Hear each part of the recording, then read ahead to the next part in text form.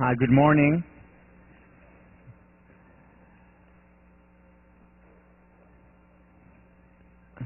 So, first of all, uh, are there any junior parents here today?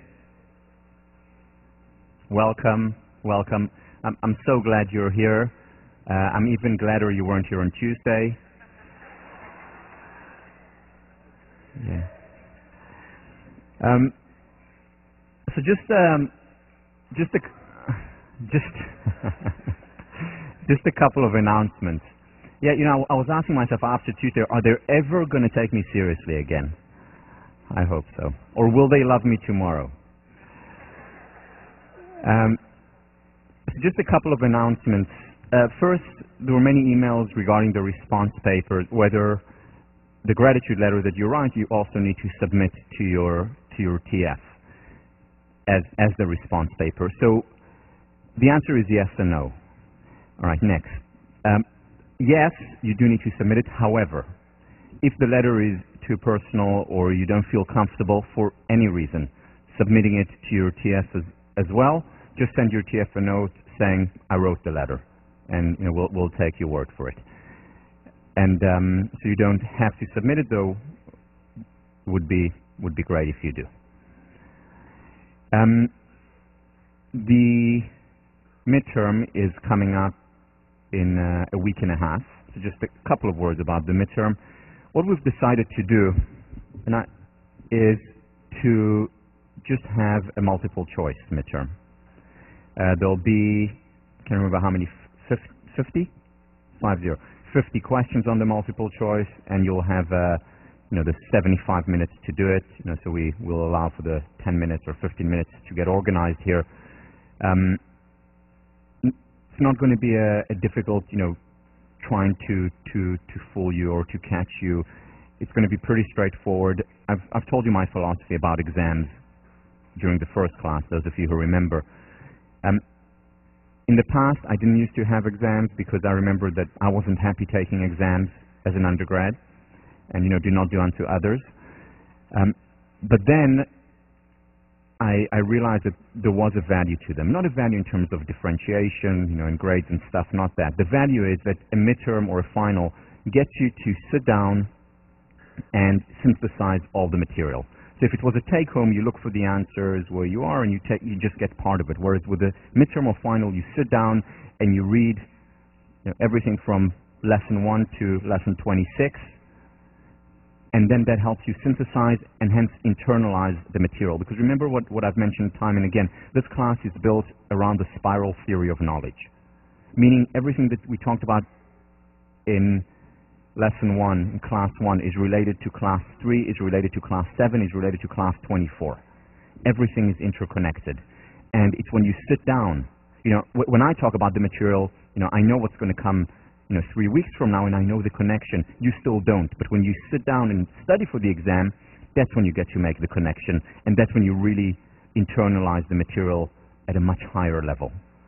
So this is why we have it. I know it's not fun. However, I think it, pedagogically, it's, um, it, it is important to sit down and, and, and have a run through, whether it's the midterm and again for the final. Again, won't be a difficult one, but, but do study for it. It will be very straightforward, fact-based the midterm, as you can imagine, is not about showing creativity.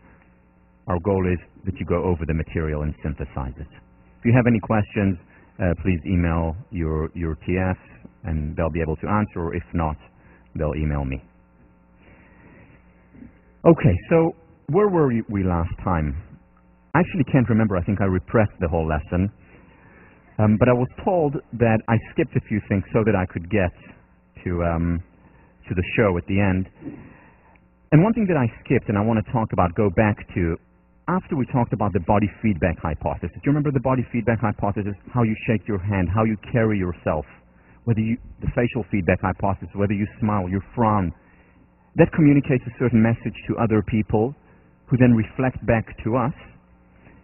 And at the same time, it, we're also communicating to ourselves. Am I confident? Am I proud? Or am I afraid and scared. And very often we need to, as we talked about, fake it till we make it.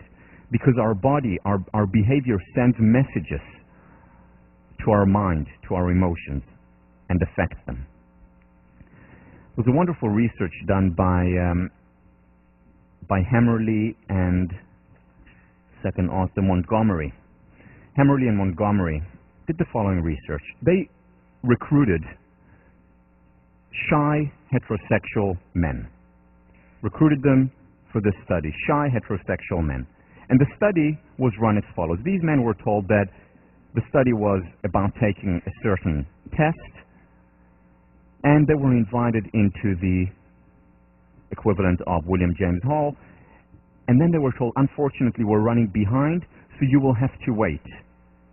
You will have to wait until uh, the study actually takes place, and in the meantime, you know, here is the waiting room, and there are other people who are waiting for the same test, and we'll come and get you. It may take a while. Sorry, we'll pay you for it, for the time that you have to wait extra.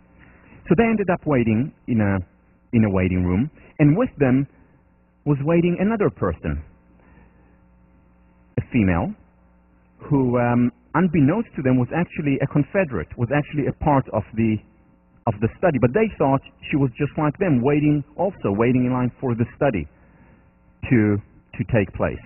So they were sitting there for 12 minutes with a woman who whose instructions was to strike up a conversation with this shy heterosexual man and to express a lot of interest and excitement about what they were saying. So they were listening and they were asking questions and wow, really, and they were laughing at what they were saying for 12 minutes. And then that the woman went into the experiment, or so they thought, and another woman comes in, again for 12 minutes, and she sits down with the shy heterosexual man and seems very interested and laughs at what he has to say and asks questions and so on so for 12 minutes. And then the next woman comes in as she goes into the experiment, and so on six times. Six women sitting with a shy heterosexual man, being very interested in what they have to say, striking a conversation. 72 minutes total. And then they go into the real experiment, whatever it was. And then the next day, they're invited for the same experiment again. And once again, they go through the exact same procedure. For 72 minutes, they sit down with six women who are very interested in what they have to say. And of course, what really the, the experimenters were interested in was what effect does this have? What effect does this behavior have on their shyness? And it had radical effects. So over the next six months, when they followed up on these, these men suddenly became far less anxious in general and specifically around women. They became less shy. These men often for the first time in their lives initiated relationships and started to date after 144 minutes of intervention. Radical difference, but there was a problem. What's the problem with many of these psychological experiments? That you have to debrief. Exactly. You have to debrief. So six months later, the study was over. The researchers invite the, the men in and tell them that this was just a study. And these women were actually part of the experiment. They were told to seem interested. Cruel, right? Well, less than they thought. It made no difference to these men. Because by this time, they were much more outgoing. They were doing well with the opposite sex. They were going on dates. They were less shy. It started a positive spiral. It didn't matter at all. 144 minutes changed their lives. As far as the dating was concerned, at least, if not more. Why? Think back to Bandura's work on self-efficacy. Nothing breeds success like success. When they succeeded, they did well. They saw themselves doing well.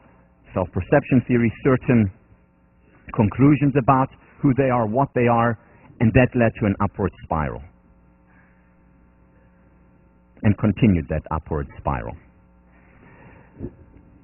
Again, we talked about fake it till, till we make it. We then watched Marva Collins. chapters of the Fathers, Pirkei Avot, one of the seminal uh, Jewish texts.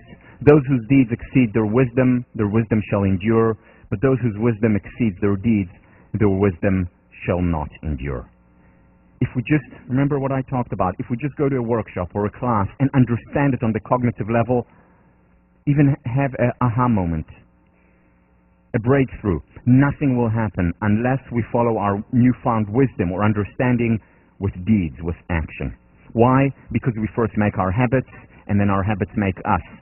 And if we're before the workshop or class here, and then our attitude changes, but our behavior doesn't, our attitude will be pulled down over time by our habits. So it's only if we also change our habits over time. If we start doing things, if we, for example, put ourselves on the line, cope, or if we start doing the gratitude exercise or writing letters on a regular basis or starting physical exercise, arguably the most powerful intervention to deal with anxiety, depression, as well as ADHD.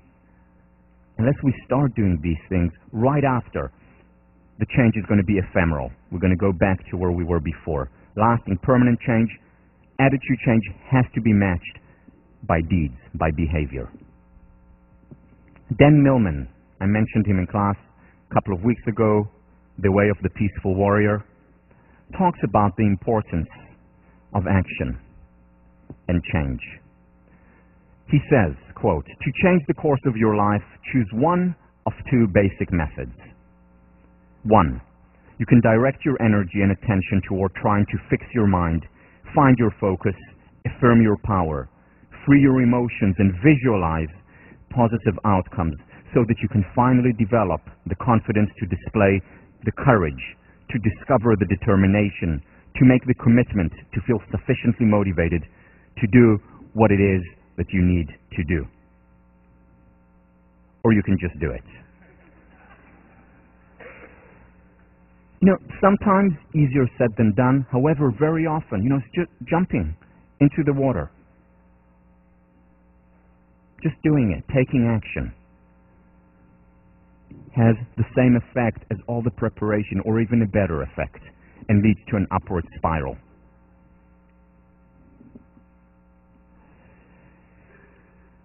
Okay, then we talked about coping and um, exiting your comfort zone. Parents, please close your eyes at this point. All right. And I ended by talking about attaining your optimum level of discomfort. What does this mean? What does this mean? So we can look at approaches to change or reactions to change, behavioral change, along the continuum of tension. Most of us, most of the time, are in our comfort zone. Great, it's wonderful. However, when we're in the comfort zone, very little change happens. If we go a bit beyond that, we get to our stretch zone. This is what we call the optimal discomfort zone. This is where change actually happens. Beyond that is the panic zone. This is where we have anxiety and difficulty. This is a place that's usually unhealthy, unhealthy for change, because very often we can go back on where we were before. You can think about this with a metaphor. The comfort zone would be freezing water. The stretch zone would be flowing water. The panic zone would be boiling water. Again, a lot of movement, but out of control and potentially dangerous. The best way to be usually is in the stretch zone. You will read about it next week when you read about uh, flow. Flow is when you have optimal level of arousal, optimal level of tension when the task that you're doing or whatever you're doing is not too difficult nor too easy. See, what I did at the end of last class was certainly, as I said, as you saw, I hope, out of my comfort zone. However, it wasn't enough, well, maybe, but probably not in the panic zone. Why? Because I already know you. You know, we've been together for, for over a month. Um, it's already past add drop date, so too late for you. So I wasn't taking that much of a risk. It was just stretching. And it was important for me to, I mean, it really is personally important for me to do it because it does stretch me and make, get me more in touch with my, with my humanity.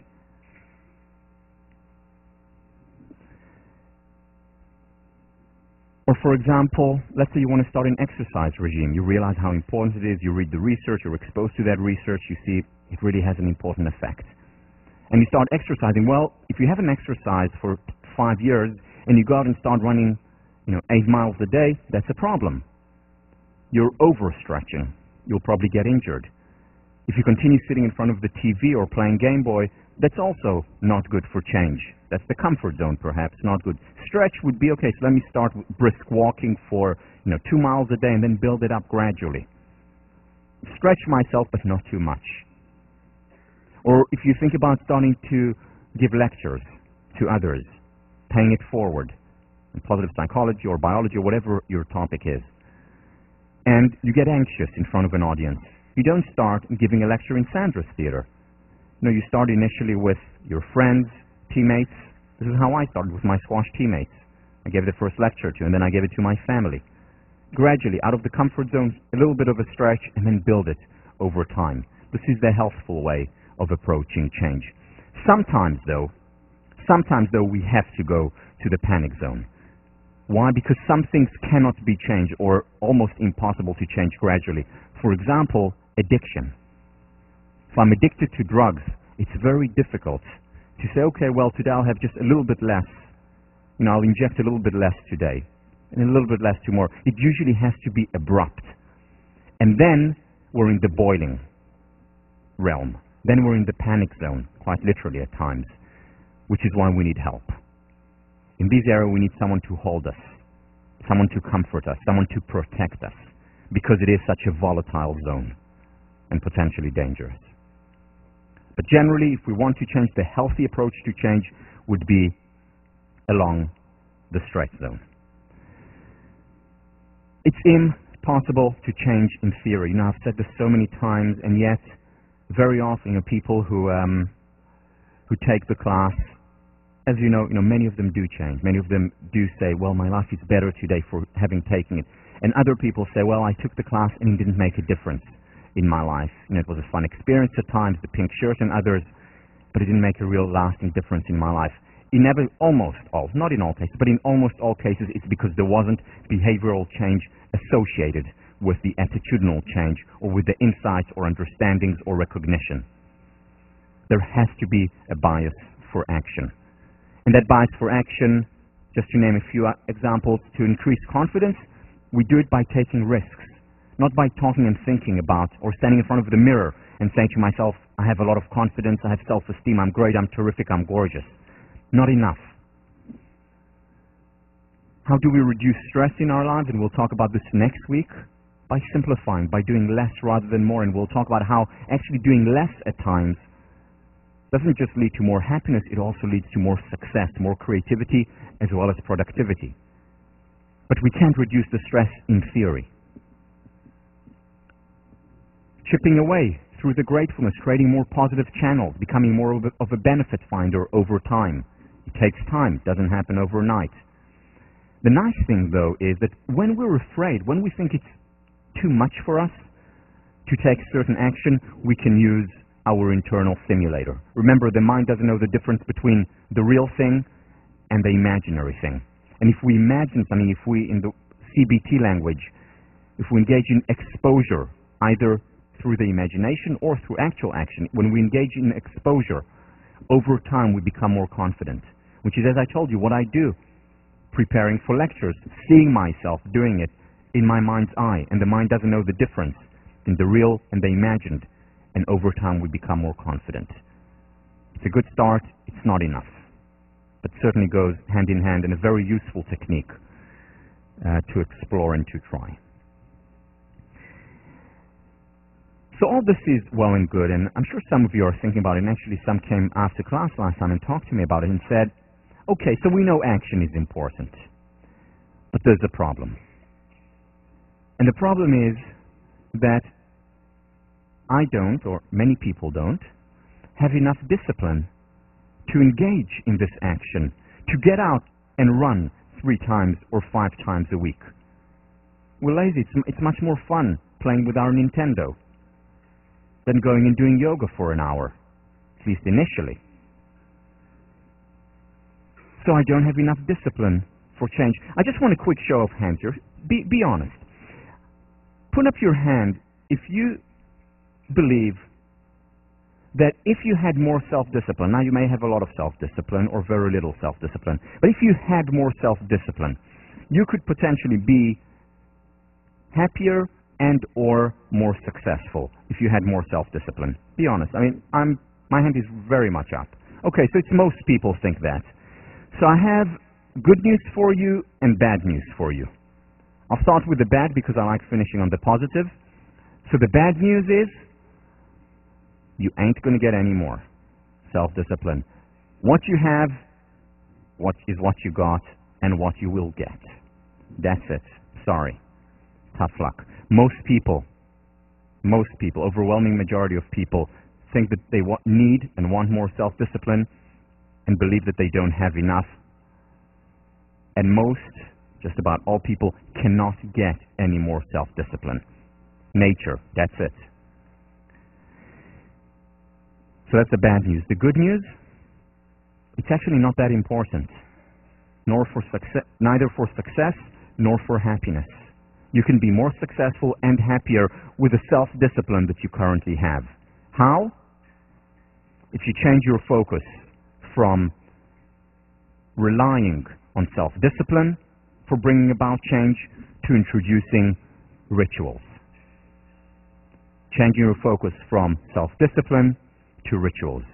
I'm going to talk about an idea now that is part of that is talked about in greater length in The Power of Full Engagement by Jim Loehr and Tony Schwartz, an excellent, excellent book. And what they're talking about is essentially a paradigm shift. A paradigm shift where we need to stop trying to get more self-discipline because that in and of itself is not enough for success, for well-being, for change. And it's because people rely on self-discipline for change that's the reason why most organizational as well as individual change efforts fail. So let me share with you a, a fun study. This was done by Roy Baumeister, one of the leading social psychologists uh, of the 20th and beginning of the 21st century.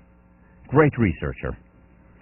Here is what he did. He brought in um, a group of people each individually. So the person walks into the experiment, and they're told, once again, you'll have to wait um, in, um, in this room, a waiting room, for the experiment to start. Um, so the person sits down, there is a table right next to that person, and on the table there's a bowl, and in the bowl are freshly baked chocolate chip cookies. Just came out of the oven. Smell, the aroma, engulfing them you know, like in those cartoons going into their nose. Phenomenal smell. They're sitting there next to the chocolate chip cookies that are in a bowl. The experimenter puts down, says, I'll come pick you up in about 10 minutes uh, for the experiment. They walk out, and as they're walking out, they tell them, oh, and just, by the way, uh, these chocolate chip cookies, they're for the next experiment, so if you don't mind, don't touch them. So you're sitting there almost dying, but you're not touching it. And um, 10 minutes later, the experiment does come in, takes you to the experiment. The experiment is a very difficult, very difficult, um, um,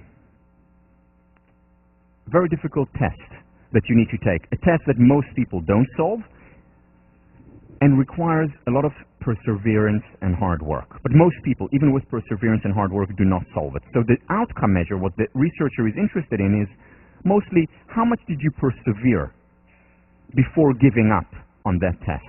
How much did you persevere before giving up on that test? That was the outcome measure, the dependent variable. Second group, randomly picked come into the same room, sit on the same chair, have the same bowl on the table. But instead of chocolate chip cookies, what they have in the bowl are red beetroots. Freshly baked. Just came out of the oven. And they're sitting there.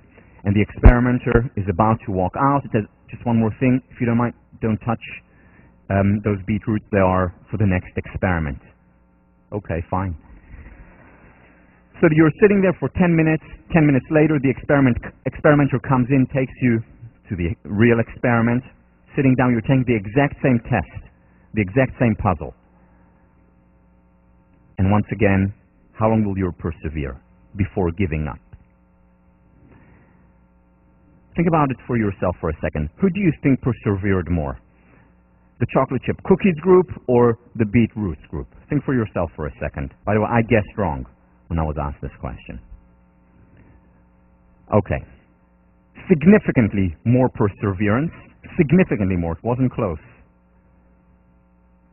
The group that had the beetroots persevered a lot more. Why? When, when, when Baumeister wanted to understand the mechanism, and he did some more experiments to explain the mechanism, it's because the chocolate chip cookie group had used self-discipline not to touch.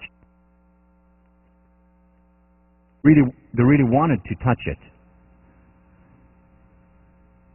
But they couldn't, so they used their quota of self-discipline. And when they went into the quote-unquote real experiment, what happened was that they had little or no self-discipline left. And that's, that maze, that experiment, that test required a lot of self-discipline. The point of this study, we all have a limited amount of self-discipline. And the question is, what do we use it on? Another question for you. How many people here have, those of you who did set New Year's resolutions, put your hand up if you're fulfilled every single one of the New Year's resolutions that you ever set for yourself. Put your hand up every single New Year's resolution if you did set New Year's resolutions. But higher, please. Well, I certainly didn't. But here's another question for you. How many people here, this is an important question, so please put your hand up if, if the answer is in the affirmative. How many people here brushed their teeth this morning? Put your hand up high. Whew, I'm glad to see this. You can all come and talk to me after, re real close. So let me just imagine what happened this morning, the scenario. So you got up in the morning, you were tired, and then you said to yourself, okay, today's the day. Today's the day. I am going to do it. I am going to brush my teeth this morning. Right? And to really motivate you as you got out of bed,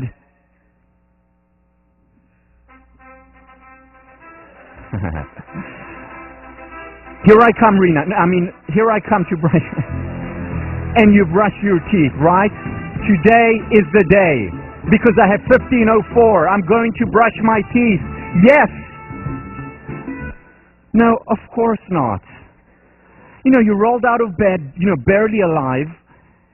You, you probably don't even remember that you brushed your teeth because you were asleep still. Now, why? Why did everyone, I think, I hope everyone, brush their teeth this morning, whereas no one, no one person out of more than 600 students fulfilled their New Year's resolutions. Why? Because New Year's resolutions rely on self-discipline. Brushing our teeth relies on a ritual. We do it every day. It's automatic.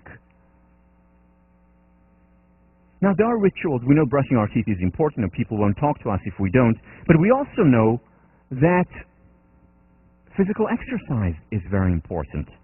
And yet most people in the world, not, not at Harvard, but in the world, don't do physical exercise and pay a very high price for it.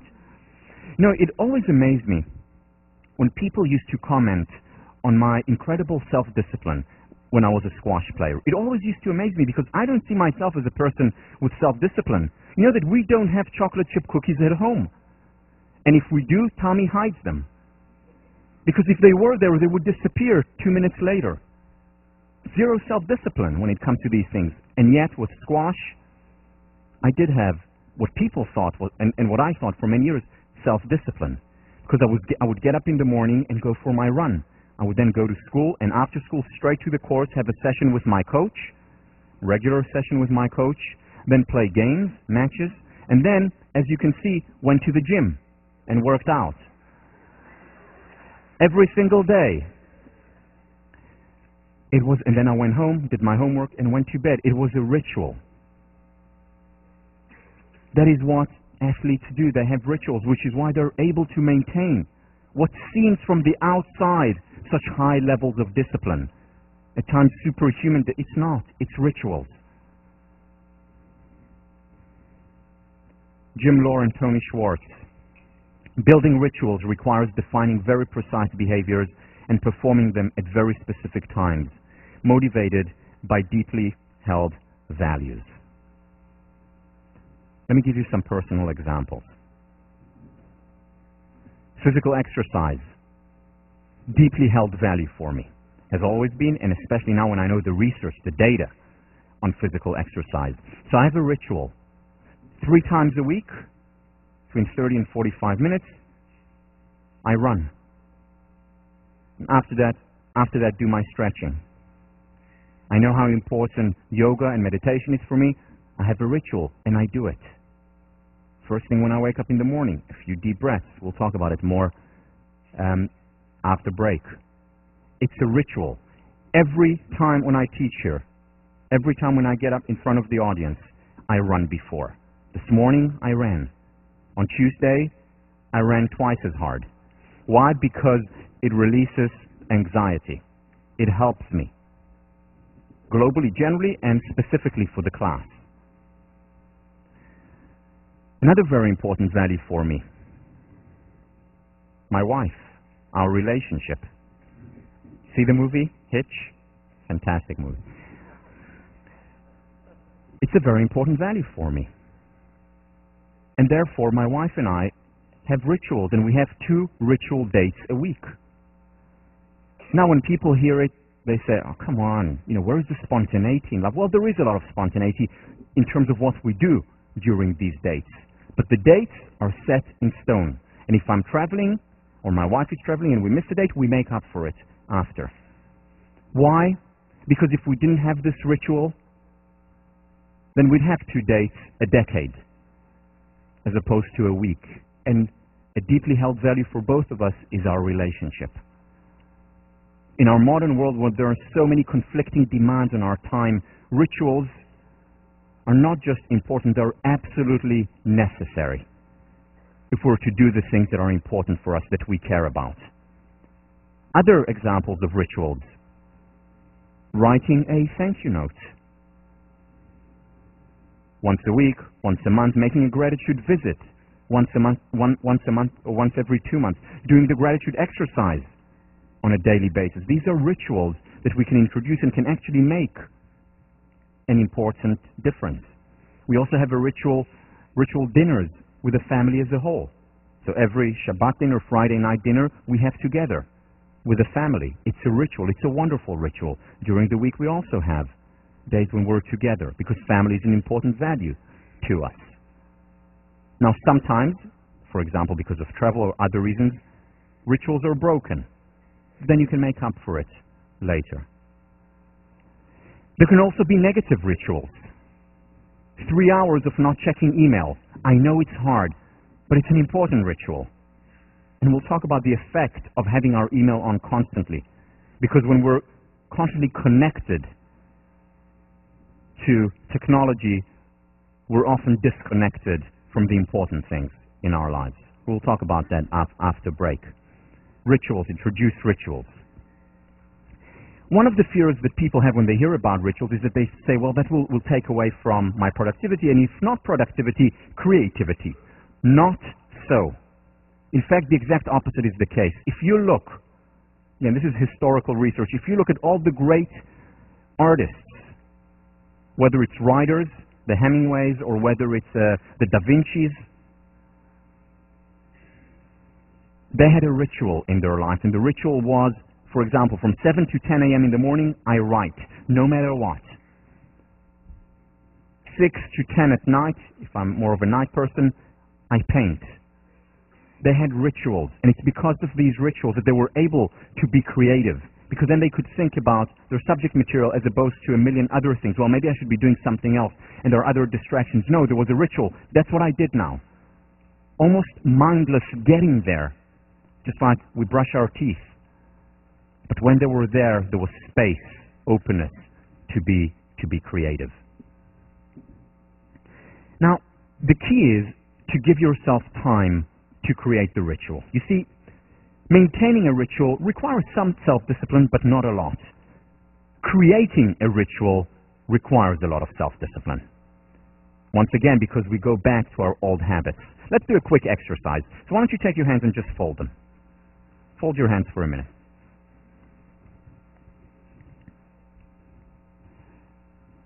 All right. Now, continue to folding your hands, only this time in the opposite direction, meaning this hand below and this hand above. Yeah, yeah. I see especially the men are not really getting it, but um, it's okay. Now, how, how does that feel? Not comfortable, right? Now, this is such a simple movement, you know, folding hands, and yet we feel very uncomfortable. Something is wrong here, and we want to go back to our folding before. Much more comfortable. We first make our habits, and then our habits make us. Okay. So, the key is, here we're talking about a very simple change, folding hands. How much more difficult is it when we have habits that we've cultivated for many years and are much more significant in our lives? Very difficult to go to, to change them. It takes time. William James, as I mentioned before, says it takes 21 days to change a habit. Loehr and Schwartz, in their book, The Power of Full Engagement, talk about 30 days to change it. And of course, it depends on what habit. So give yourself 30 days to start the gratitude. Give yourself 30 days to build a new ritual of exercising regularly. And the key is to give yourself no more than one or two rituals each 30 days. Why? Because as we mentioned earlier, it takes a lot of self-discipline to create a ritual, and we don't have much self-discipline. Which is why when we have a list of 10 changes that we want to introduce in our lives today, we end up doing none we end up doing none because we're overextending our self-discipline and we break down. It takes a lot of discipline to start a ritual, but once we start it, after a month when it's habituated, when it's grooved in, when a neural pathway has begun to form, then we can move on to the next ritual and introduce it if we're ready. No more than two, ideally one ritual. Next week in your response paper, you're going to choose a ritual, two rituals for this month that hopefully you will, you will also introduce because there cannot be change without behavioral change. Loehr and Schwartz. Incremental change is better than ambitious failure. Success feeds on itself. We see it on the individual level. We see it on the organizational level. John Kotter from the business school does a lot of work on, on change in organizations in the realm of leadership. What he talks about a lot is how you need small successes and then build on these, these successes. The Dalai Lama, there isn't anything that isn't made easier through constant familiarity and training. Through training, we can change. We can transform ourselves. You know, one thing that happened to me, I remember when I was uh, when I was an undergraduate, and it happened to me my sophomore my sophomore year. I didn't have I, I played on the varsity team didn't have a good season my sophomore year, was burnt out, got injured, and couldn't wait for the 1st of March.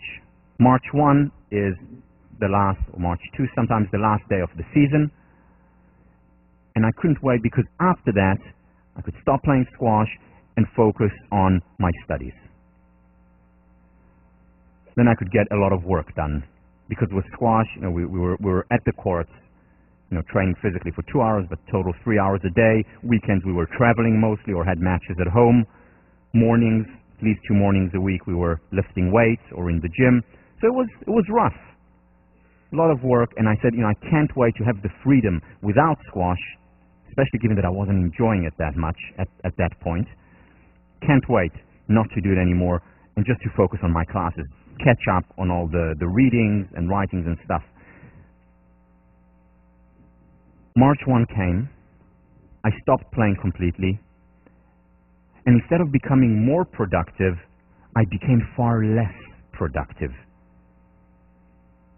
Now, I see a lot of you nodding, the athletes know what I'm talking about. Why, why did I become more, or rather less, productive? Procrastination, whoa, skyrocketed. Why? Because for years I've been told that I'm a person with self-discipline. And I started to believe it. Yeah, I have a lot of self-discipline. Look at me. I train so hard. I work, you know, when I played on the circuit six hours a day. That's a lot of self-discipline. And suddenly, the squash season ended, and I said, all right, let's see this discipline at work. And I wasn't getting any work done. Why? Because I gave up my rituals. You see, during the season, those of you who play varsity or are very involved in music or a club know that. When you're investing a lot in a certain organization, your time has to be ritualized. So you know that you're in practice then, or you're at the Crimson at these hours, or um, or you're having meetings at these hours, and after that you have to go back and work because you only have two hours to do it, and you want to get a, a, an okay night's sleep. You have rituals, and you're productive and you're creative, and suddenly the rituals go away, and you say, okay, now I'm going to work more, and the exact opposite happens. Because we have a limited amount. It was only when I came to terms with the fact that I have a limited amount of self-discipline, it's only when I came to terms with the human nature, nature should be commanded, must be obeyed, it was only then that I actually became productive again, because I created new rituals in my life after that. Rituals, very important and significant. The only way for lasting change. Let me talk about cognition now, the C. So we talked about affect, emotions, we talked about behavior, how important that is, both acute and, um, and gradual. Let's talk about cognition. We'll talk again about cognitive reconstruction, which is the gradual way of bringing about change, and then we'll talk about the faster way of bringing about change, which is the eureka experience, the aha, aha moment. So first, cognitive reconstruction.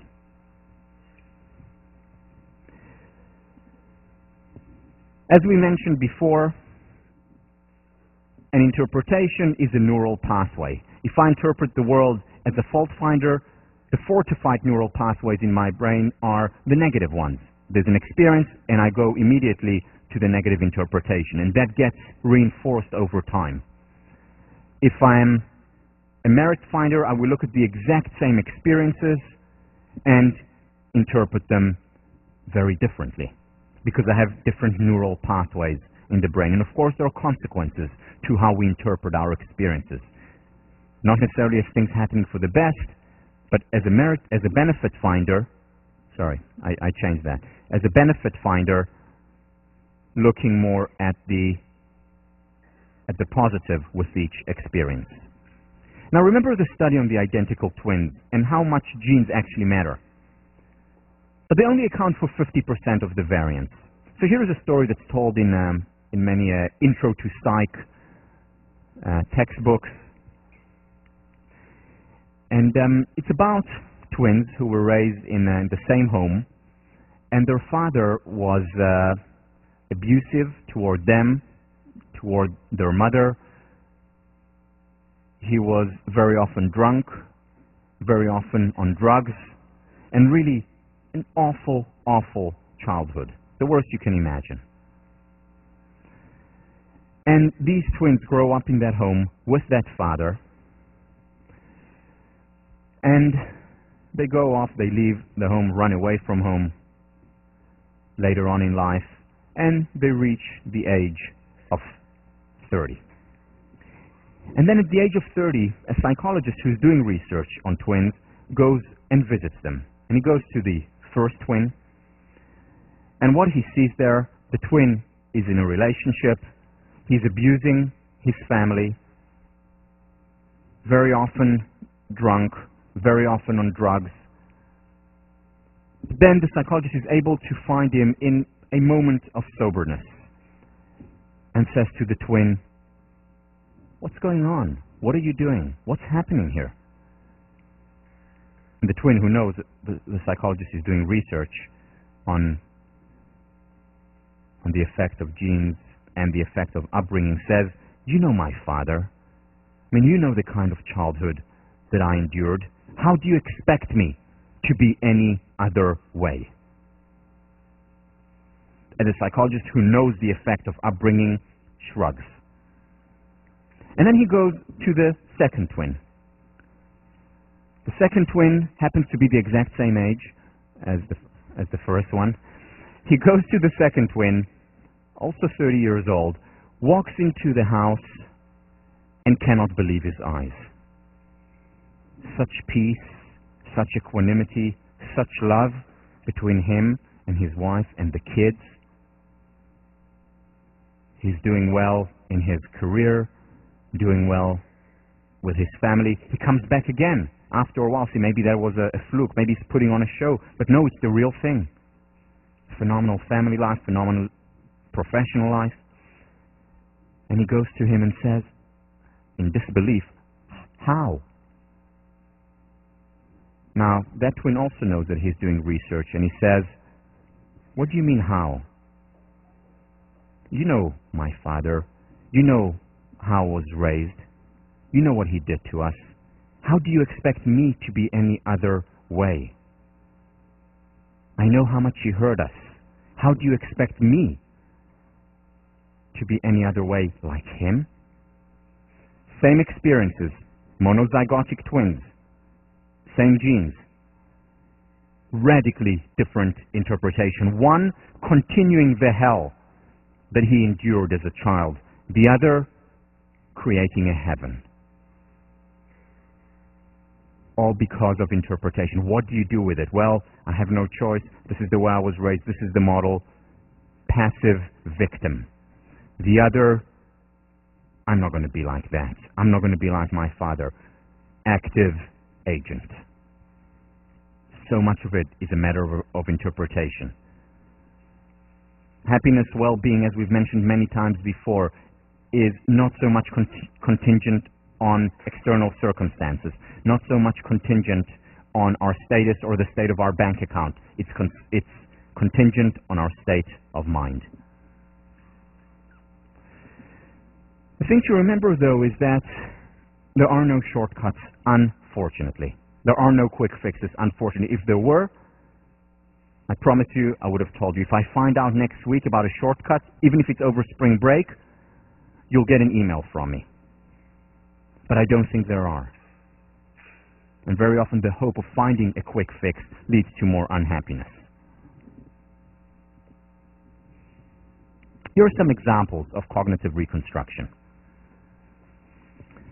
This is work done by Tomaka on whether we perceive an activity as a challenge or as a threat, because we can perceive the exact same activity and cognitively reconstruct our understanding of it. So let me give you an example.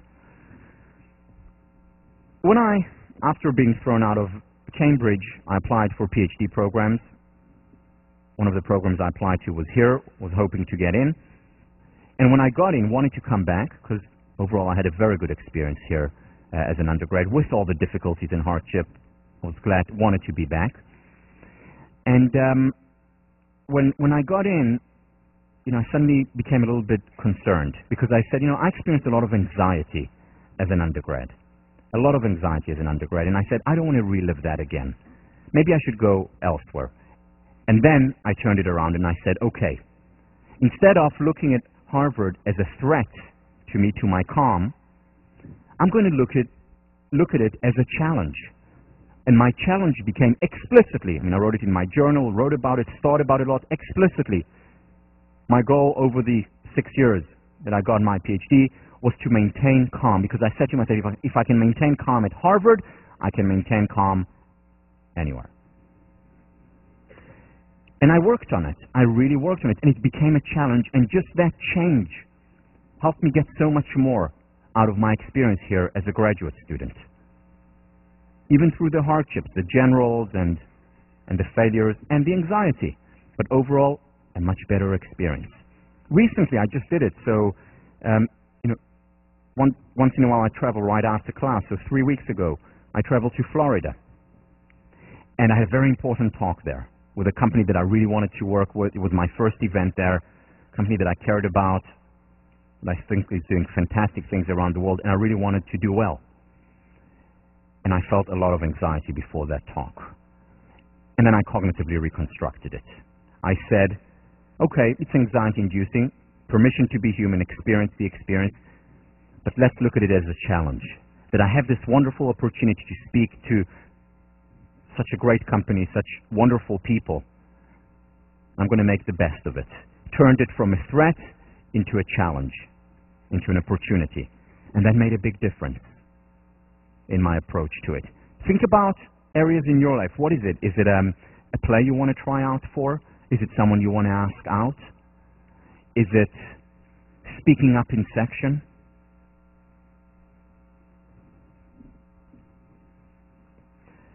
This is study. Those who took Psych 1 or Psych 15 have encountered that. The work of Schachter and Singer back in the early 60s. Today they would never be able to get this past the ethics committee, just like Milgram wouldn't have been able to get his study passed. Here is what they did. So they brought people into the experiment and injected them with epinephrine. Epinephrine arouses the body. It shots of adrenaline. But they thought it was just vitamin C. They didn't know it was epinephrine. And then they were sitting in the um, in the experiment, waiting for again the real experiment. They were sitting in the in the waiting room, and while they were sitting, they were asked to fill out a questionnaire. Now remember, they were they just got a shot of adrenaline, but they didn't know that they got a shot of adrenaline. So they're sitting, filling in a questionnaire, and in the first condition, the questionnaire had very provocative questions, to say the least. For example, one of these questions was, so um, how many men did your mom sleep with before she got married to your dad? That's one of the questions. You know, they would never be able to get away with this study today, but, you know, back in the 60s. So they were answered this. Now next to them, next to them, there is a Confederate, someone whom they don't know is part of the study, and this guy is going ballistic. How dare they, you know, get, really getting angry? And then you get angry too. And you get even angrier than the control group who went through the exact same thing except for the fact that they didn't get the injection.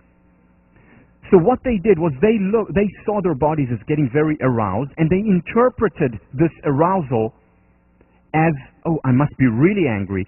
And they really did get even angrier than they would have. I mean, they, they got angry in the control group as well, but less angry than those who were injected the epinephrine. Now, second condition. Also injected, had a questionnaire without any provocative questions, and next to them there was again a Confederate whom they thought was also doing the experiment, and that Confederate found, by happenstance, a hula hoop on the floor and started to shake it, you know, and dance and, you know, was going crazy there and happy and laughing. And the person who was just injected the epinephrine went wild, so happy and joyous, much more happy than the control group who were in a room with a person dancing with a hula hoop but did not get the injection. In other words, he interpreted the raise in adrenaline, oh, I must be really happy now. And they were really happier. In other words, very often it's the interpretation, in this case, of a physical symptom that determines what we will feel, joy or anger, because they're quite similar. In both of them, there is an adrenaline rush. So how do we interpret a situation as arousal or as, as, as euphoria or as anger. Here's another study. This is done by Lee Ross and his colleagues. They asked people, college students, he, he's from Stanford, college students, to volunteer their most generous and benevolent friends, to name them, and their most competitive cutthroat friends. And tell them who they are. And then they contacted them to be part of a study. And what they wanted to see was their behavior in a situation, in a game where you can cooperate or you can be competitive. The intervention was that these students were randomly divided into two groups, and in the two groups, there were people who were deemed very competitive or people who were deemed very generous and benevolent, and in the second group, same thing. Half of the people were very generous and benevolent, half of the people were very, uh, very competitive and cutthroat, as perceived by their friends. And in the first group, they got a game, and the game was called the community game. And the second group got the exact same game, a game where you had the opportunity either to cooperate or to compete. But the game, instead of a community game, even though it was the exact same game, it was called Wall Street game. And they wanted to see how many people cooperate versus how many people compete. And they wanted to see what predicts it. Well, whether the kids, whether the participants were deemed cooperative or competitive predicted nothing. Nothing. Whether or not they would compete or cooperate. What predicted everything was whether they were in the community game or in the Wall Street game. If they were in the community game, they were much more likely to cooperate. If they were in the Wall Street game, whether they were generous, benevolent, or cutthroat competitive, they were much more likely to be cutthroat competitive. In other words, how we frame a situation, community, Wall Street, can make all the difference. Threat, opportunity, maybe the exact same thing. How we frame it can make all the difference. This is stud- a study done by One Quest. It's a very important question, which is how can we raise the level of volunteerism at Harvard and beyond? And the wonderful answer that she came up with is let's get students, as well as people in society at large, to reframe how we look at volunteering rather than as duty, something, you know, I have to do that is art. Why don't I look at it as a privilege? I have the privilege of helping, and it is a real privilege. Remember the study on kindness, one of the best interventions for well-being. It is a real privilege to give, to help, and when people reframe this, they're much more likely to volunteer. This has implications for child rearing. This has implications, of course, for education. It has implications for society as a whole. This is a topic that I'm going to talk about a lot. I'm going to dedicate much time to it when we discuss relationships. But just very briefly, this understanding for me transformed, literally transformed my relationship with my wife. It trans transformed and is transforming my relationship with my friends as well as students and colleagues. You see, we go into a relationship, most people think that the important thing about relationship is that we're validated. So we get pats on our back. Now, that's important in a relationship. Surely it's important to be validated in any relationship, whether it's with, you know, student-teacher, whether it's with friends, certainly in a romantic relationship. However, what David Schnarch talks about is that primarily, if we want long-term, successful, thriving, passionate relationships, the first objective, the primary objective, is to go into the relationship to be known. To be known rather than to be validated. Meaning, going in there and saying, okay, so how can my partner get to know me even better? Doing it gradually, of course. You know, on the first date, you don't want to reveal all your secrets.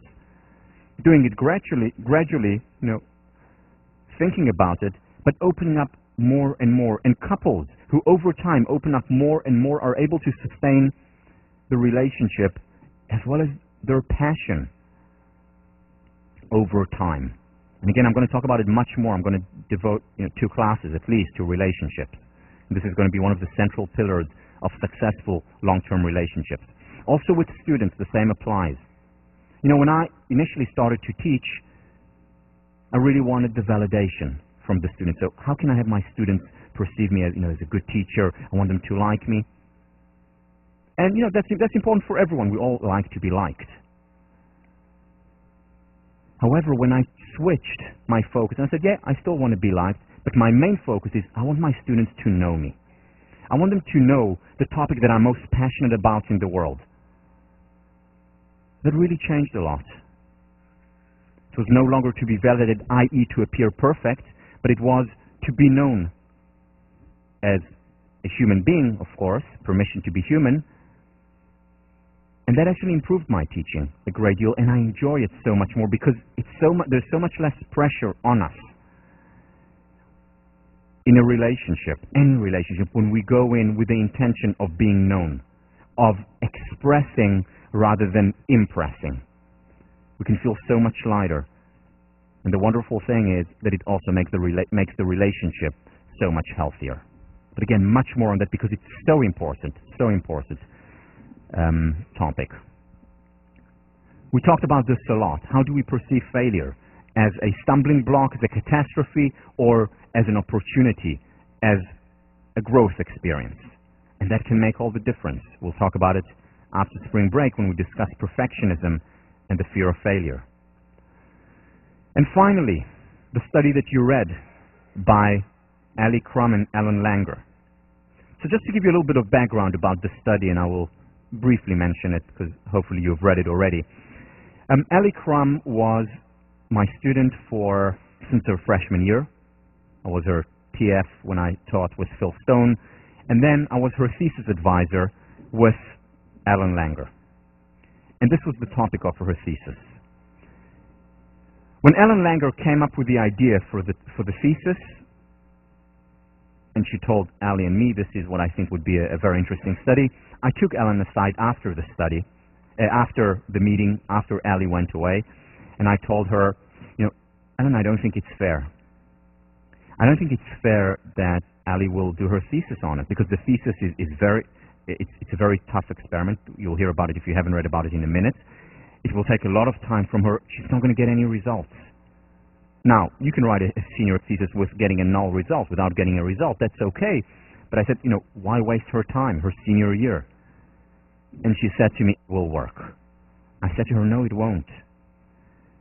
And boy, did it work. Now, I've learned since then not to argue with Ellen Langer because she has ideas that you would never think work, but they do. Like, like the study we mentioned with the, uh, all, with the 1979 going back to 1959, or with the eye test being simply in, uh, in a flight simulator improves your eyesight. Again, ideas that seem fantastic, but she proved them right. So the same happened here with this study.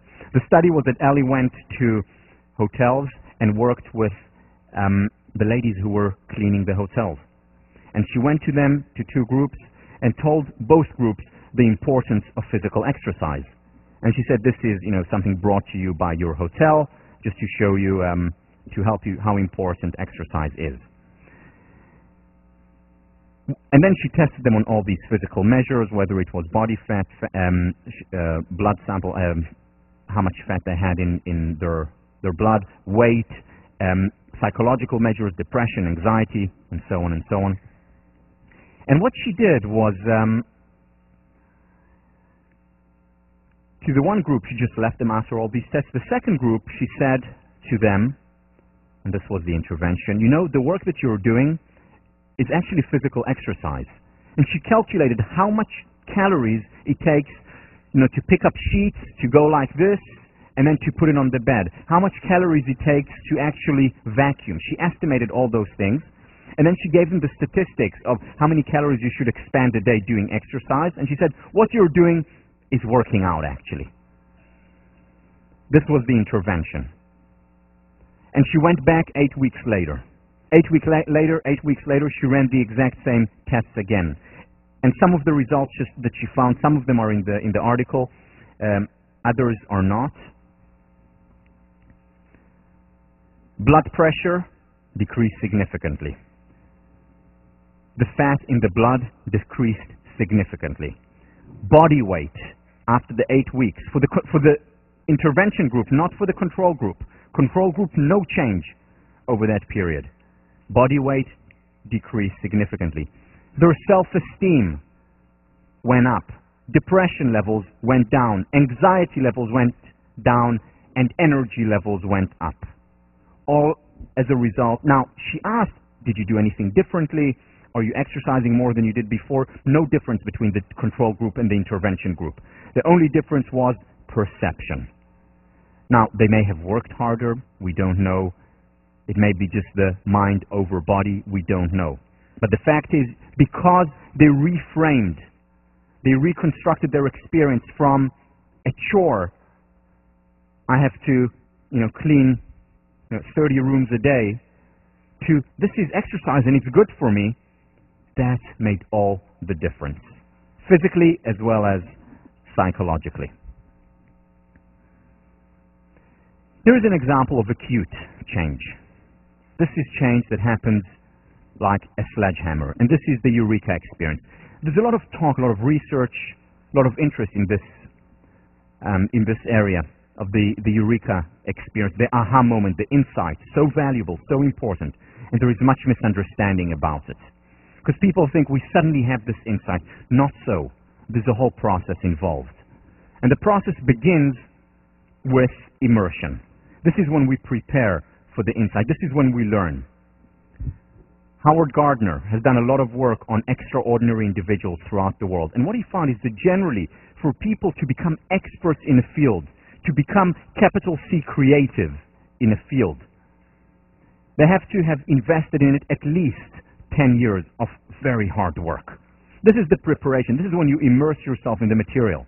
Look, for example, at Be Beethoven. Those of you who, who, who listen to his music and know, and know the trajectory.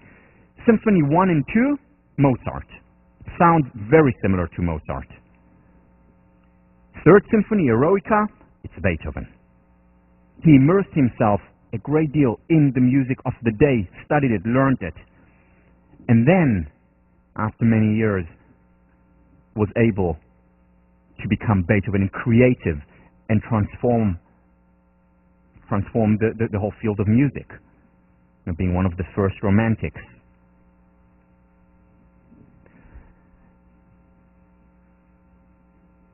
Second stage, after we prepare, and it takes again a lot of hard work, whether it's preparation that was done by Bill Gates when he was skipping class, or whether it's Bill Clinton, a lot of preparation before you become an expert in a field and are able to introduce create capital C creativity.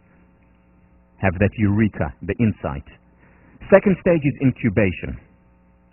And you sit with all the creative individuals. After you immerse yourself in an area, you do nothing. You just allow it to marinate. For example, it's no coincidence that we get some of our best ideas in the shower. It's no coincidence that Archimedes got his best idea in the bath.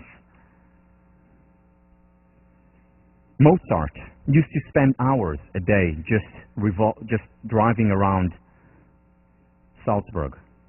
And then suddenly he would have the aha experience, the eureka, and he said, I could hear the symphony in a second.